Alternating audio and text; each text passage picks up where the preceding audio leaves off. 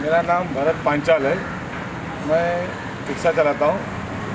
आज कम से कम बाईस से तेईस साल से रिक्शा चला रहा हूँ। हर साल बरसात में उनको इतना प्रॉब्लम होता है खड्डे के बारे में। क्या खड्डे की वजह से हमारा गाड़ी का नुकसान होता है? और आधे दिन हम लोग गैरेज भी चले जाना काम होता है।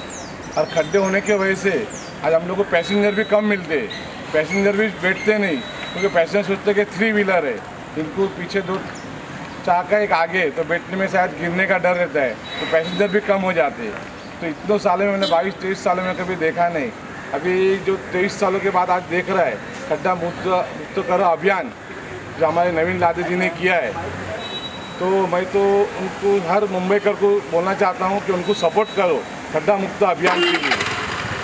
तो मुंबईकरों से मैं विनती करता हूँ कि इस खड्डा मुक्त अभियान के लिए आप सभी साथ देवे नवीन लादे जी का।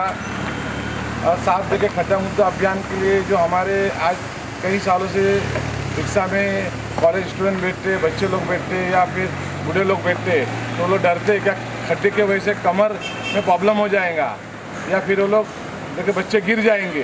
तो ये खड्डे के वक्त से फिर से हमारा धंधा कम हो गया।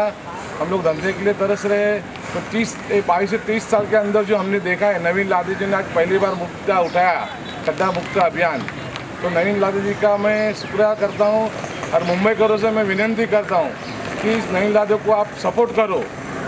और नवीन लादे की प्रॉब्लम होगा, नवीन लादे का नंबर है nine double six four zero one double seven double seven. फिर मुंबई करो से बोलता हूँ कि नवीन लादे को सपोर्ट करो खड्डा मुक्त अभियान के लिए।